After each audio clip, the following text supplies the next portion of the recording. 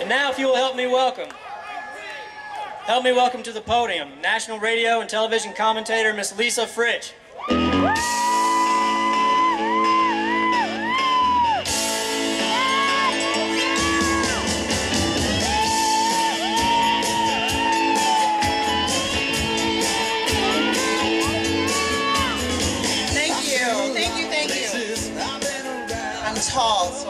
Have to lift this up.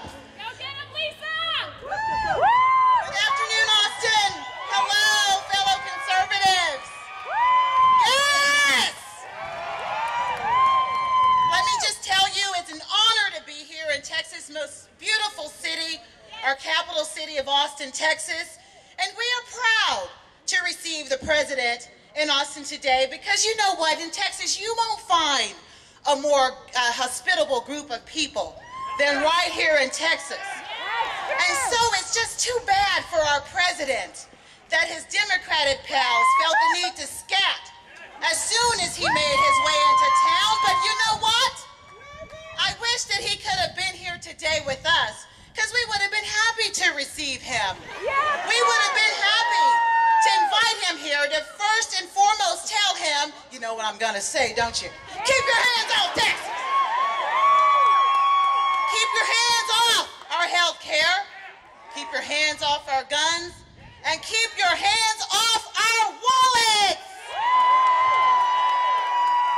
Government's large hands have got our life, liberty, and pursuit of happiness by the throat. And we aren't going to take it anymore. We are standing up in Texas, and now our brothers and sisters all across America are standing to join us. It seems that much of this nation has come around to a Texas state of mind. And while they go to California to do the dreaming, it's to Texas they come to make those dreams come true. And while in Massachusetts, Democratic politicians dock their yachts in Rhode Island, it's the simple man in a pickup truck that the people elected.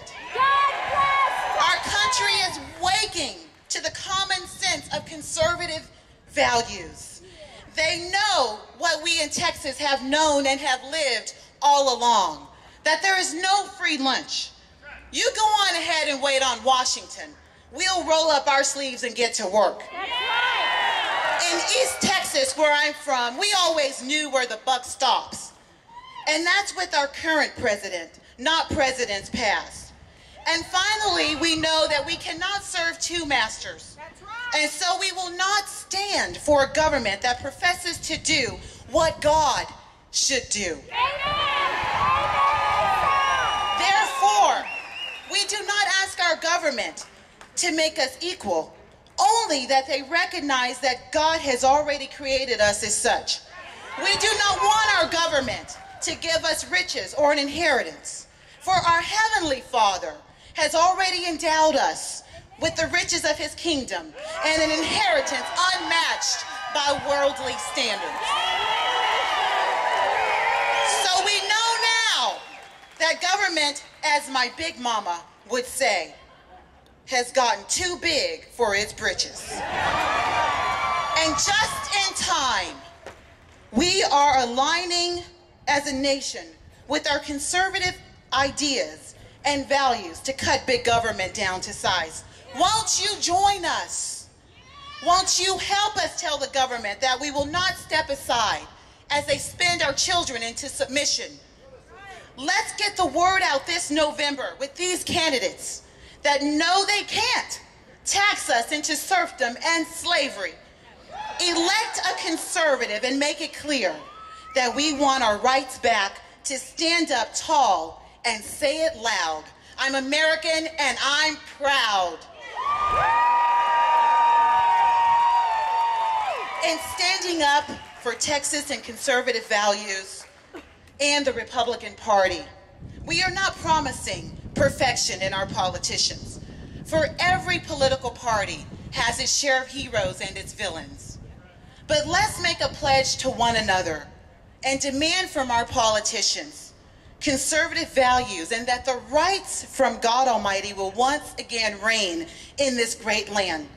And let us make it clear to every politician in every state, in every party, know that government will not be our God. God bless America. And finally, it's time to make it known that conservative values in the Republican Party are American values. They are Texas values.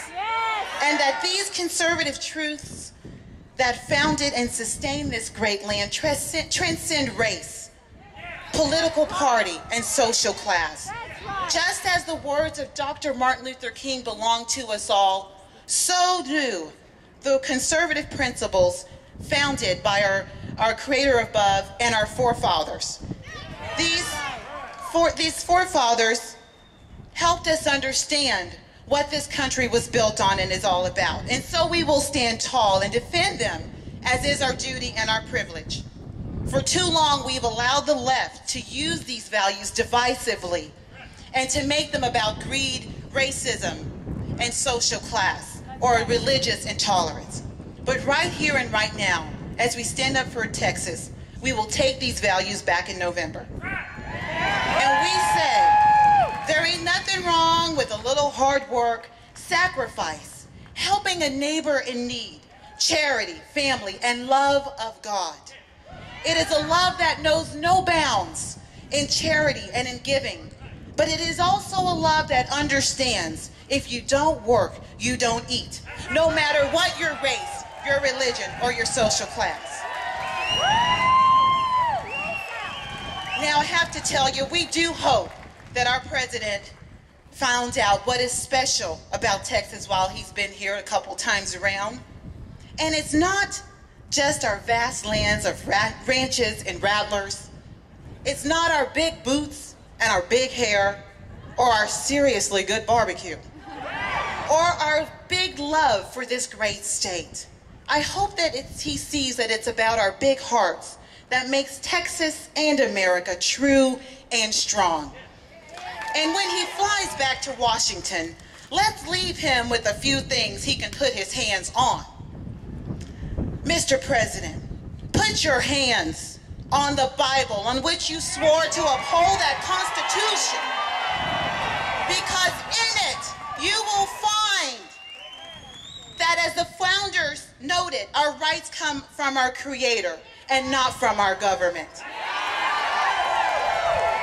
Mr. President, won't you put your hands on the Constitution and the Bill of Rights so that you will find that there are limits and boundaries to your executive power and your authority. And above all, Mr. President and Washington, the eyes of Texas are upon you.